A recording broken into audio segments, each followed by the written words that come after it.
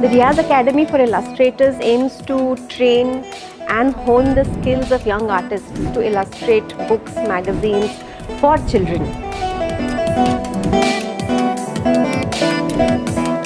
Dastak is an annual exhibition of the work that is done by Riaz uh, alumni plus you know the last batch that passes out.